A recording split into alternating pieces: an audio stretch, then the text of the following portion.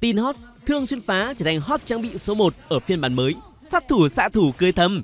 Cụ thể, không bị giảm công lý, cũng chẳng hề bị trừ chỉ số xuyên giáp nhưng lại giảm giá tiền, tạo điều kiện cho đường đấu sĩ thiên hướng sát thủ hay là sát thủ thuần có thể cân nhắc lựa chọn nhiều hơn như bọn Nagrod, Ngộ Khỉ hay cả bọn xạ thủ như là Vio, Joker, thậm chí là Ryoma khi bạn muốn lan cầu tuyết chơi full dam càng có lý do để lựa chọn thương xuyên phá ở bản mới thay vì quá chú trọng thương long nớt như hiện tại. Tuy nhiên, nếu kẻ địch quá trâu thì vẫn nên sử dụng thương lăng và kiếm Mura hay là diệt thần cung cho những vị tướng xạ thủ vì nếu phải kéo lết thương xuyên phá sẽ mất đi rất là nhiều tác dụng bạn nghĩ sao về cú chỉnh sửa này? Nhưng nên nhớ, gặp tướng máu giấy, thương xuyên phá vẫn là chuẩn bài nhá. Ed lên cho em quả Agdex của Elsu tận thế và Murat Chí Tony. Chỉ cần bạn muốn, có ngay Agdex Jin chưa chơi trận nào. Murat Chí Tôn Thần Kiếm, Elsu Sứ Giả Tận Thế, Flaw anh em muốn tìm trang vừa tài khoản gì? Lên ngay tiền gì shop.vn nhé. Nhờ xem video của Ed gợi ý, em bây giờ lên được chiến tướng rồi. Cảm ơn S đã ra video có ích cho em và mọi người để rank dễ dàng hơn. Chúc S thật nhiều sức khỏe. Ok, Tiếc gì à, cảm ơn anh em một feedback và một cái tâm thư khá là dài của bạn khán giả. Vâng, tuyệt vời quá. Động lực lắm anh em ơi. Nếu mà các bạn à, cảm thấy là những gợi ý và các video mà TNG truyền cảm hứng được cho anh em ấy thì đừng quên comment dưới video với nhá.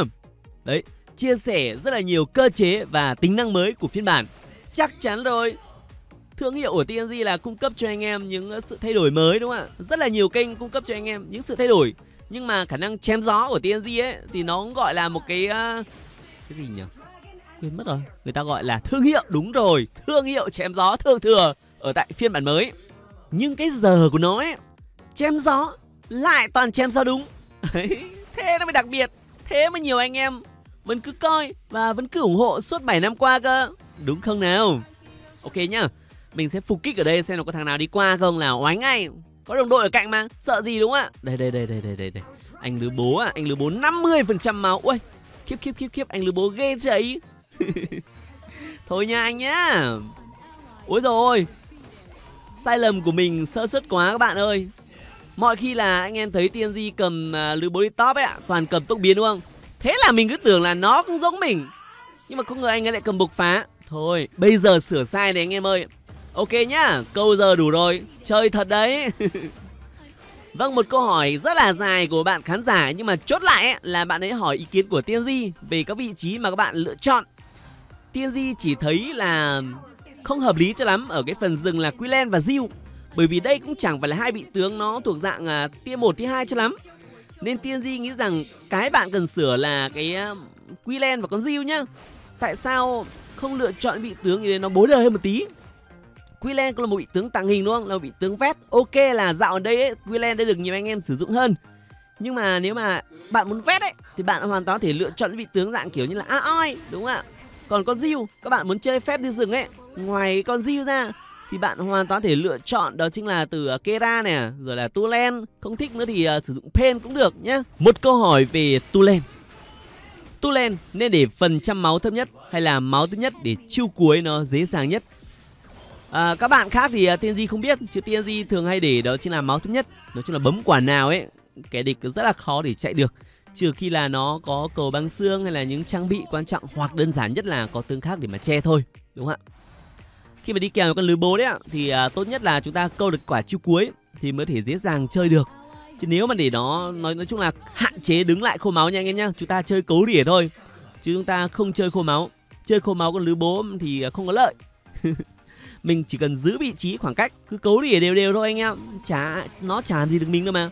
Ok là cả hai cái điểm điểm giống nhau của hai vị tướng này ấy, đó chính là cả hai vị tướng đều có khả năng hồi phục. Thành ra là đi đường cũng khá là gắt đấy một câu hỏi về à, vấn đề là mua tướng nên mua Cepeda hay là AT vâng à, theo cái sở thích của bạn ấy là bạn ấy thích trợ thủ là sát thương rỉa đúng không ạ? Thì à, tiên di ưu tiên cho anh em sử dụng AT hơn. Đồng ý là con à, Cepeda ấy nó rỉa cũng rất là gắt đúng không? Nhưng mà nếu mà nói về cái khả năng vừa rỉa vừa bảo kê và tạo sức ép liên tục ấy AT vượt trội hơn rất nhiều. Arum à, tự dưng lại thích lên hỗ trợ mình anh em.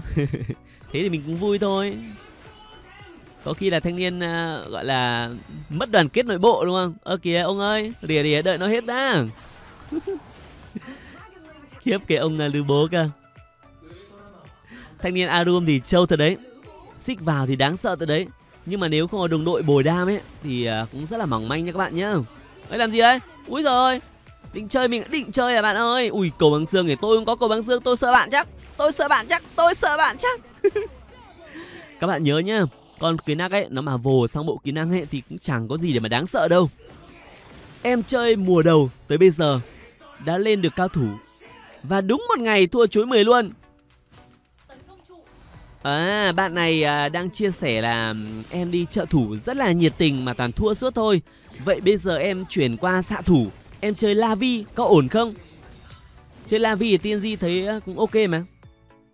Đặc biệt là Lavi có khả năng mở ganh rất là tốt. Thực sự nếu mà chơi những vị tướng dạng kiểu như Ryoma mình ấy, mà có một con Lavi nó bắn từ xa về, kiểu là back phát back trúng, thì gọi là auto đè đường nha anh em nhá.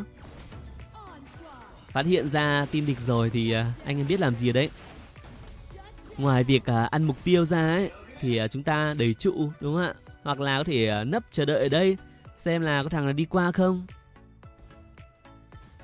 Đợi nha anh nha đợi nha đợi xem là con mồi nó đi qua đây nhá.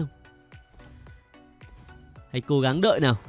Ôi, bọn này trì đấy nhỉ? À đây đây đây đây. Tưởng là bọn nó ờ, bỏ qua cái trụ cơ anh em. Đây đây, anh anh zone anh zone anh zone. Hello, anh zone. Anh có tốc biến không? Anh ấy bị bất ngờ của anh em ạ. Không kịp tốc biến gì luôn. Em đang có 18.000 vàng. Nên chơi rat hay là lily? Mong ed cho ý kiến. Nếu mà nhận xét chung ấy và nói về cái độ ờ, đa dụng ấy thì con lily vẫn hoàn toàn vượt trội. Và TNG muốn anh em nếu mà được ấy thì nên luyện tập lily nhá. Sẽ giúp cho anh em à, leo rank nó dễ dàng hơn rất nhiều.